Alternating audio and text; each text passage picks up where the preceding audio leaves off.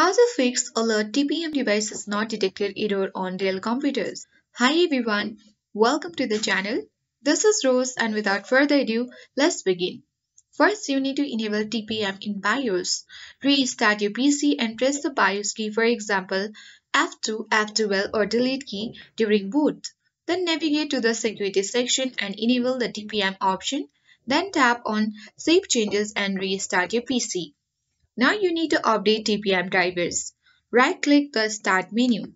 Then select Device Manager and locate Security Devices and expand it.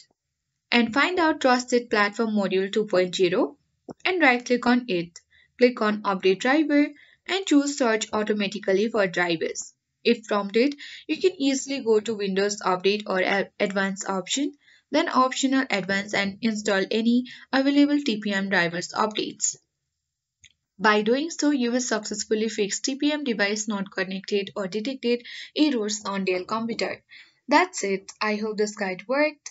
If you are new to our channel, hit the like button and subscribe. Thank you for watching.